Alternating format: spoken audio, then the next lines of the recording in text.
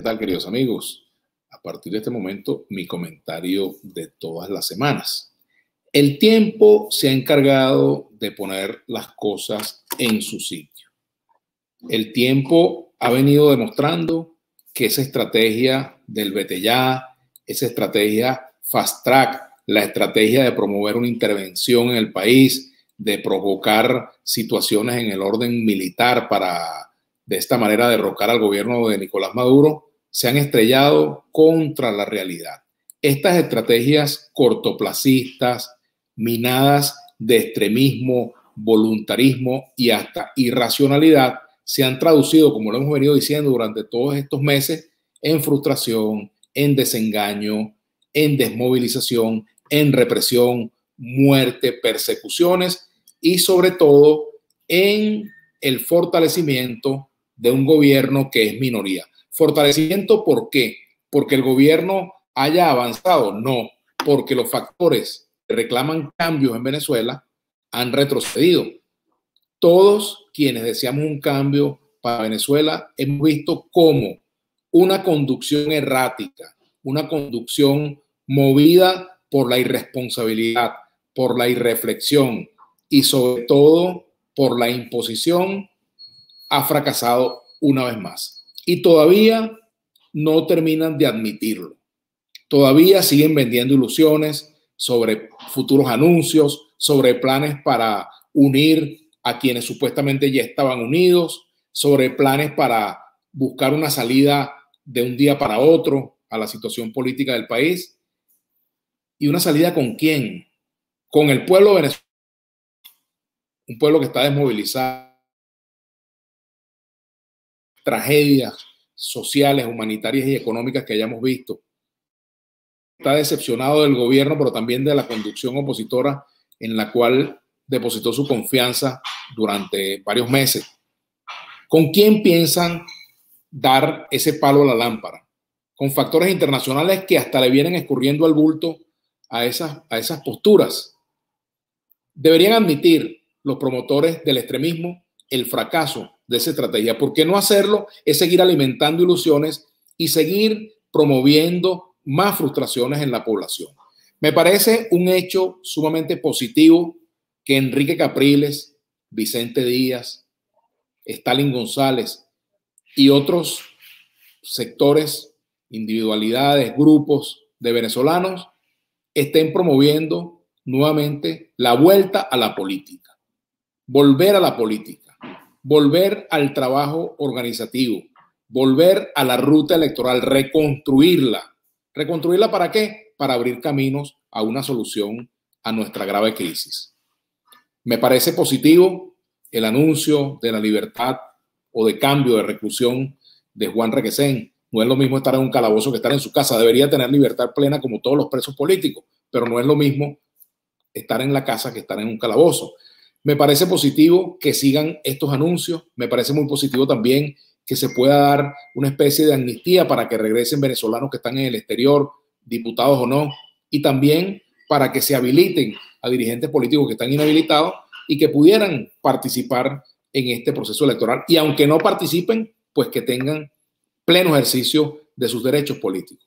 Esas me parecen señales muy positivas y son resultado de la negociación no se puede seguir criminalizando la negociación, porque de esa manera, si criminalizamos la negociación, pues quien se favorece es el gobierno, porque esa puerta abierta le da más beneficios al país que al gobierno. Cerrar la puerta de la negociación favorece el extremismo de un lado y del otro. Cerrar la ruta electoral ayuda a que el gobierno cumpla sus objetivos políticos de perpetuarse en el poder y además también promover la abstención, criminalizar, calificar de vendido, de, de lacayo o de, o de, de alacrán o cualquier otro término a quienes promueven la participación, pues lo que termina también es alimentando un abstencionismo que es el aceite que necesita la maquinaria electoral del PSUV para ganar. Si los factores políticos, si la oposición priva al gobierno de ese aceite, de ese, lubricante de su maquinaria y se dedica a promover el voto, a movilizar a la población, pues el gobierno puede pasar un tremendo susto en las elecciones de diciembre. Yo no sé si con una participación masiva en este momento es posible derrotar ampliamente al gobierno. No lo tengo claro. No sé si va a alcanzarse un nivel de participación tal que provoque la derrota del gobierno. Tampoco lo tengo totalmente claro. Pero creo que la peor derrota que puede tener un movimiento que quiere cambio es abandonar un espacio vital como es la Asamblea Nacional. Que las condiciones no son las mejores, evidentemente no lo son. Hay unas conversaciones, unas negociaciones para mejorar esas condiciones y eso me parece positivo.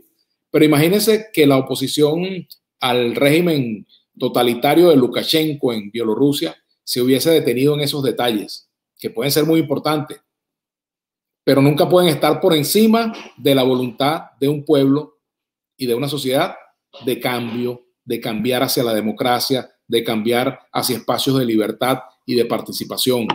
Así que en realidad yo creo que lo que ha pasado en estos días es positivo en cuanto al anuncio de un hombre como Enrique Capriles, que fue candidato presidencial en dos oportunidades, que ha recorrido el país, que lo conoce palmo a palmo, el anuncio pues de distanciarse de esas agendas cortoplacistas, de esas agendas de falsas ilusiones y concretarse al retorno a la política.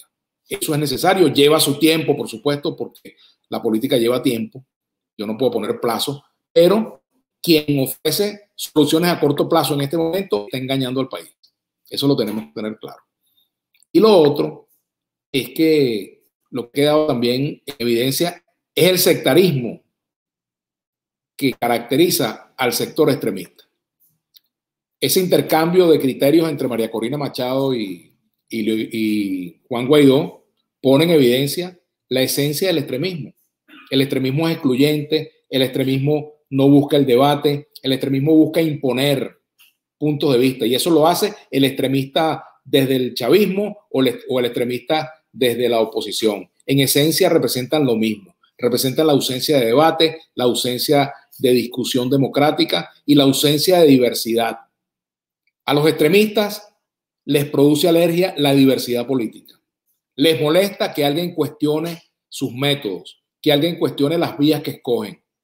Les molesta que les discutan su proyecto político. Quieren lo mismo que el gobierno, lealtad o nada.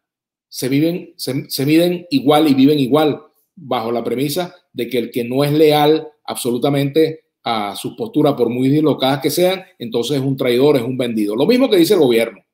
Y entonces ponen a, a sus bases a gritar leales siempre, traidores nunca, con lo cual buscan un voto de incondicionalidad. De esta misma manera reacciona el extremismo.